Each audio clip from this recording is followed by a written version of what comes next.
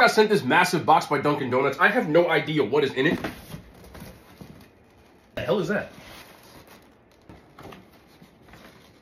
Is this a...